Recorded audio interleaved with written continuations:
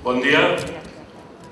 Fa goig veure aquesta sala plena com, a com de delegats i delegades, de gent compromesa, que malgrat tots els malgrats, cada dia en els centres de treball estem construint una societat millor.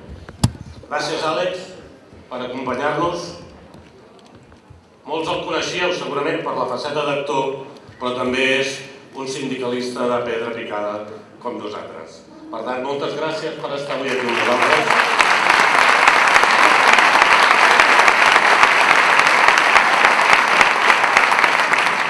Avui hem reconegut tres lluites sindicals i una lluita social.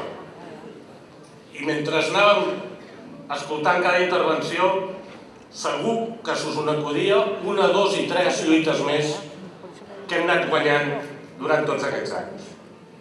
I aquesta és la força del sindicat. Aquesta és la força de la Unió General de Treballadors. Que no estem mai parats.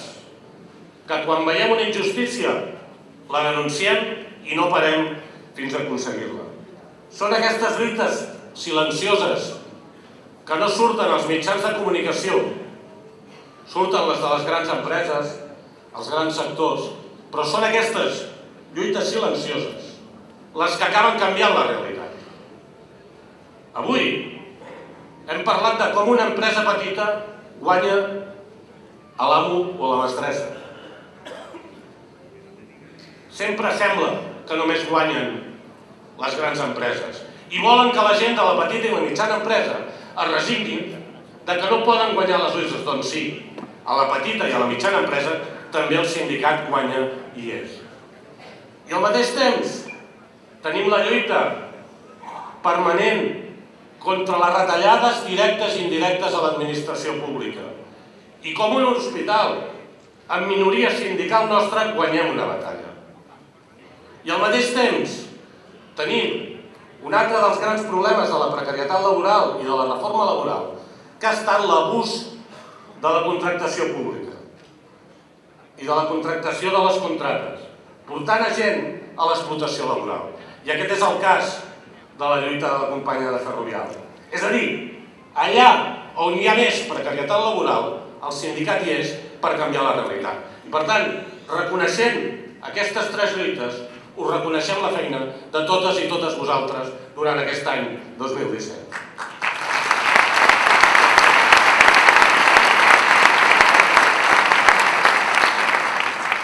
Però hi ha una altra gran lluita guanyada, de manera tossuda i llarga, ha estat la lluita de la renta garantida de ciutadania. Gràcies als milers de signatures que vau recollir, perquè part som l'organització que va recollir més signatures, de la ILP en el seu moment de la renta garantida de ciutadania, en els vostres centres de treball, gràcies a la unitat, gràcies al treball constant, avui podeu dir que amb aquella signatura que va posar i que va recollir cada afiliat i cada afiliada de la UGT, a Catalunya no hi ha cap llar que no tingui un ingrés mínim per poder viure i arribar a final de mes. Aquesta no ha estat una victòria dels polítics. Els polítics han arribat a aprovar-ho en el Congrés, perdó, en el Parlament de Catalunya. Per unanimitat. Per què ho han fet? Perquè hi havia una mobilització social i potent al darrere, de forma unitària, que lluita contra les noves formes de pobresa perquè segurament una renda garantida de ciutadania fa 10 o 15 anys no era necessari per tothom. Ara és imprescindible. Mentre hi hagi llars que la gent no troba feina, que se'ls expulsa del mercat de treball als 40 o als 50 anys, mentre hi hagin treballadores i treballadors pobles, necessitem una renda garantida. La societat no pot deixar la cuneta aquella gent que menys té i segurament aquella gent que més s'ha esforçat per lluitar i per arribar a final de mes. Per tant, moltes gràcies, Núria, per haver encapçalat les reivindicacions de la renda garantida de ciutadania.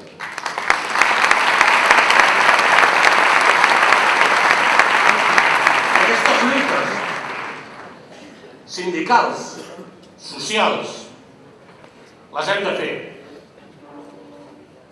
Perquè per fer política hi ha molta gent però per defensar els drets dels treballadors i les treballadores l'única eina viable és el sindicalisme. L'única organització que està al costat de la gent que està en precarietat laboral, que no li apliquen el conveni col·lectiu, que l'han acomiadat sense causa, és el sindicat.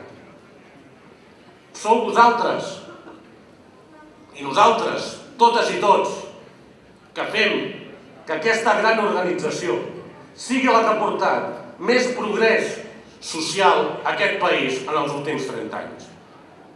Perquè si no, ara avui estaríem amb el salari mínim interprofessional. Si no haguéssim signat conveni col·lectiu a conveni col·lectiu. I qui el signa? La gent del sindicat.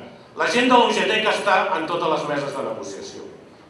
I aquella denúncia a l'inspecció de treball que es guanya, qui la presenta? Una persona de la UGT. Per tant, som imprescindibles en la defensa dels drets dels treballadors i les treballadores. Per això el sindicalisme és la nostra força. Per això reivindicar i tindre l'autoestima del el sindicat davant de les adversitats és important. Tenim 130 anys d'història que farem aquest estiu. 130 anys de lluites, guanyades o perdudes. Però fins i tot les perdudes nosaltres mai defallim i les tornem a plantejar fins que les guanyem. I aquesta és la base, fins i tot en aquests moments tan difícils que estem vivint.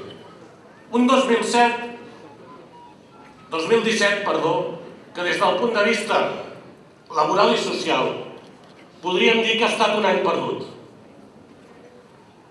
Un any en què continuen les retallades.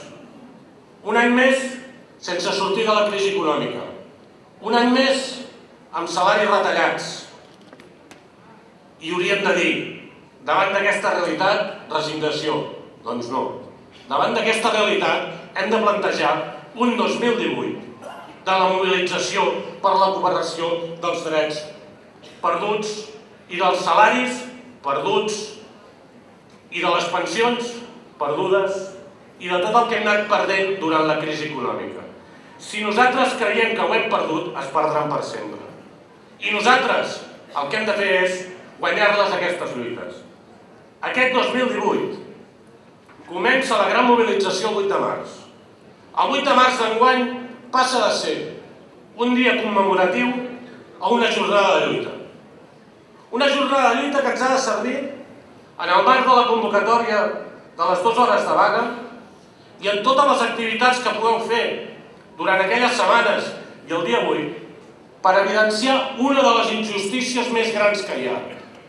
Per què una dona ha de cobrar menys que un home? I sembla que això és normal. I sembla que fins i tot el Rajoy diu que, com deia aquell altre, això no toca. Doncs no, toca.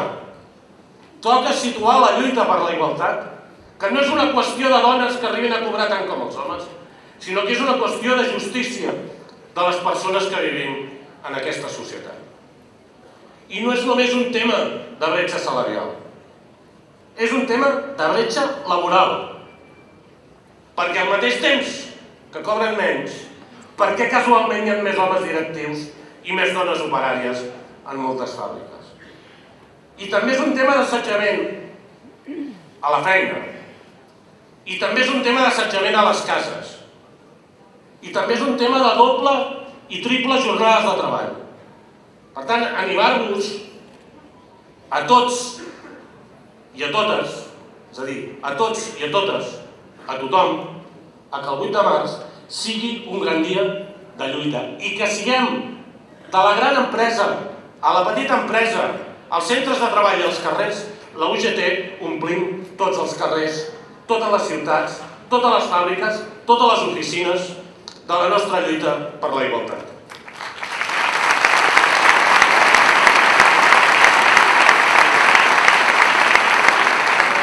Aquest any, 2018, no serà l'any de perdre les pensions, sinó l'any de guanyar les pensions. Perquè ens diuen que hi ha un problema de pensions, que la demografia, que vivim massa, Sabeu quin és el perill més gran de les pensions? El Partit Popular. El Partit Popular, amb la seva reforma laboral, amb la permanent retallada de les pensions, amb l'increment de merda del 0,25%, són els que estan intentant provocar la fallida de les pensions. El Partit Popular, amb la reforma laboral, que en aquests moments hi ha més gent treballant a la seguretat social que abans de la crisi, i en canvi hi ha menys ingressos, són els que estan posant en perill les pensions. Si deroguem la reforma laboral i posem els salaris on pertoca, les pensions són suficients. Per tant, que no ens enganyin. Mobilitzem-nos, evidentment, amb les mobilitzacions que està fent la Unió de Jubilats i Pensionistes. Però pensem una cosa, en el fons, la gent que està a la Unió de Jubilats i Pensionistes ja tenen garantida la seva pensió. Si hi ha pensions en risc que s'han de lluitar, són les de la resta de la gent. Per tant, que ningú s'equivoqui, aquesta no és una lluita dels pensionistes només, que també, perquè tinguin unes pensions dignes actualment, perquè creixin d'acord amb el poder adquisitiu, perquè les pensions entre homes i dones siguin iguals. És una lluita de totes i de tots. Per tant, suport amb ells en les seves mobilitzacions, però també que sapiguem que això és cosa de tots. I també tenim la lluita pels salaris i contra la precarietat laboral, especialment contra la precarietat laboral que està patint la gent jove, que els obliga en molts casos a emigrar. I per això també recordar-nos, sembla que s'ha repartit propaganda, que el proper cap de setmana la Balot fa una trobada i una assemblea general, animar aquells que encara sou joves de veritat, encara que tots us fiquem d'esperit, els que sou de veritat, que hi participeu activament, perquè necessitem una organització juvenil forta per poder afrontar el futur amb nous quadres dirigents. I també hem de fer una lluita pels salaris. Hem aconseguit, gràcies a l'actitud clara i contundent de la UGT Confederal, un increment del salari mínim interprofessional. A 1 de gener del 2020 estarà a 850 euros. És el primer acord que ha de servir perquè progressivament els salaris pugin, perquè el salari mínim arribi a 1.000 euros, perquè el salari en la negociació col·lectiva arribi a 1.000 euros, cal començar a treballar. I aquesta batalla l'hem començat a guanyar. Falta fer-la efectiva.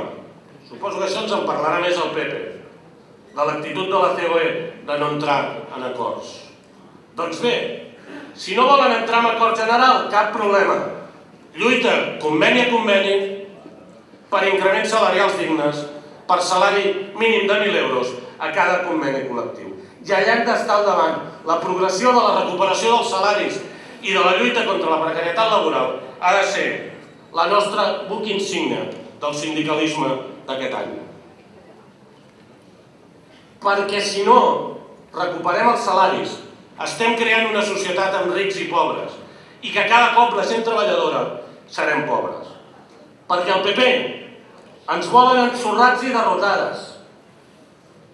Doncs ni ensorrades ni derrotats. Davant del discurs de la resignació, davant d'un partit popular que els únics drets que ens donen són el dret al treball precari, el dret als salaris miserables, el dret a les pensions de merda, el dret a jutjar piquets per defensar el dret de vaga, el dret a donar cops, el dret a immigrar els joves, el dret a la bretxa laboral. Nosaltres hem de derogar els seus drets i hem de començar a guanyar els nostres.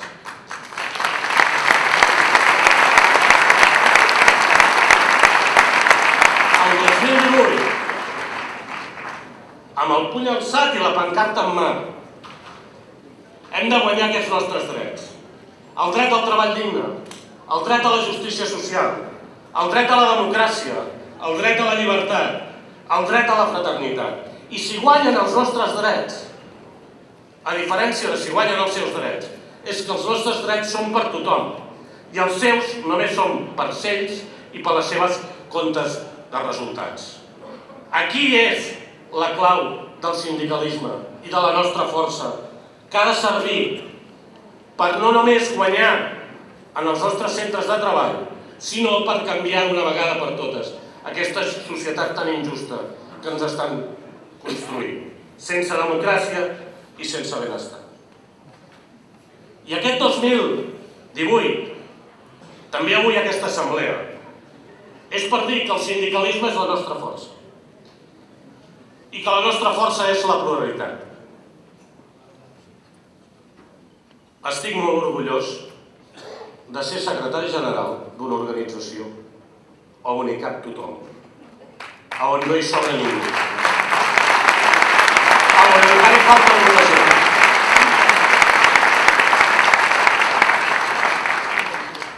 El final d'any ha estat molt dur per la societat catalana i per l'UGT de Catalunya.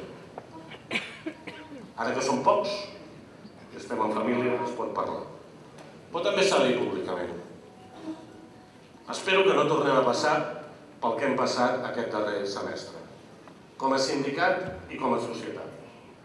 Però veure aquesta sala plena de gom a gom ens ha de donar força per defensar el nostre model de societat, el nostre model de sindicat. Un sindicat on, quan el Banc Mig refundar a finals dels anys 80 el Pepe Álvarez i molta altra gent, van fer una aposta per un sindicat plural on hi capigués tothom. I jo crec que avui s'ha de dir que aquest ha estat un dels grans encerts de la UGT de Catalunya. Aquí, en aquesta sala, hi ha gent federalista, hi ha gent independentista, hi ha gent unionista, hi ha gent socialista, hi ha gent comunista. Però sabeu què hi ha per damunt de tot en aquesta sala? Ugetistes. I per damunt de tot som ugetistes.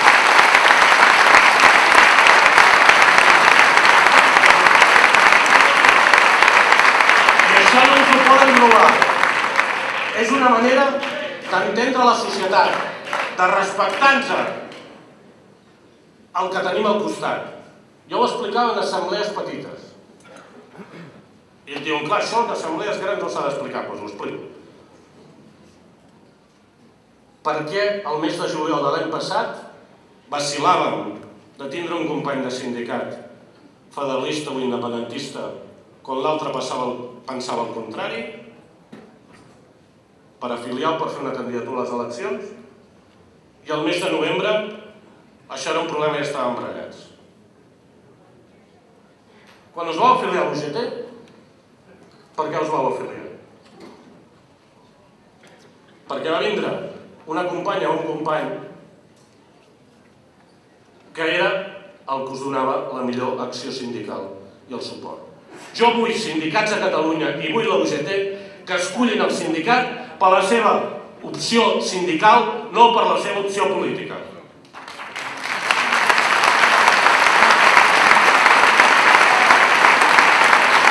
Som un sindicat amb més de 100.000 afiliats, no amb 20.000 afiliats. I això serà més difícil? Sí. Nosaltres no agafem el camí fàcil que han fet altres organitzacions. Que la gent escolli voti i els que perden se'n van. No. Totes les decisions que hem pres durant aquest darrer semestre, segurament algunes equivocades, les hem pres pensant en l'OGT. I també vull, públicament, una altra cosa que diuen que no s'ha de fer, vull demanar disculpes per si en algun moment alguna persona s'ha pogut sentir ferida per alguna de les actuacions que hem pres. Però sobretot vull demanar disculpes a tots aquells delegats i delegades especialment abans de l'aturada del 3, però un altre dia, mentre tots els jefes estaven reunits a donar voltes a la pilota, no donàvem la informació pertinent, perquè vosaltres també us estava pressionant als centres de treball. I per tant, demanar-vos disculpes.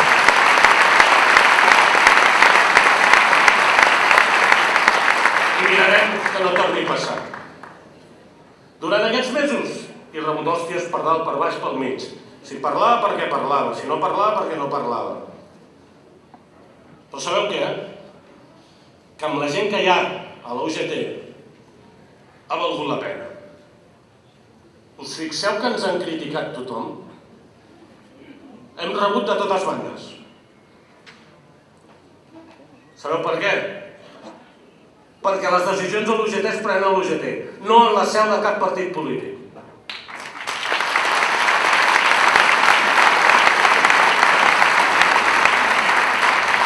Recordo que un dia vaig pillar per un acte de l'Iceta perquè em vaig sentar al costat del Serrat. Dos dies abans, uns quants dies abans, rebia perquè demanàvem la llibertat dels presos, entre d'altres, a la companya Dolors Bassa. Aquesta és la prioritat de l'UGT. Que el setembre no era un problema i el novembre sí. No ha de ser un problema ser una organització plural. I aquest és el compromís que us demano avui que tornem a agafar. El nostre compromís en la pluralitat. Però recordo un altre moment, que és el dia 9 de novembre, al matí, quan jo anava cap al Raval, i em ve el Ramon Cebrián, i no li vaig a donar la mà, i ell m'abraça, bueno, imagineu-vos el pedazo, abraçar el Ramon. Era el dia després de la, de la xiulada. I em va dir, mira, aquest matí, a la feina, m'han criticat perquè tu havies anat allà en aquell acte. I jo els hi dic que la UGT, a diferència d'altres sindicats, sempre dona la cara.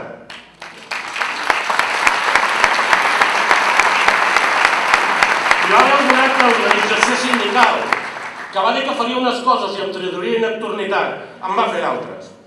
Doncs, la UGT, aquell dia, com tots els dies, mantenim la nostra paraula, una paraula oberta i dialogant i de respecte. I és aquesta UGT la que ens hem d'estimar. La UGT,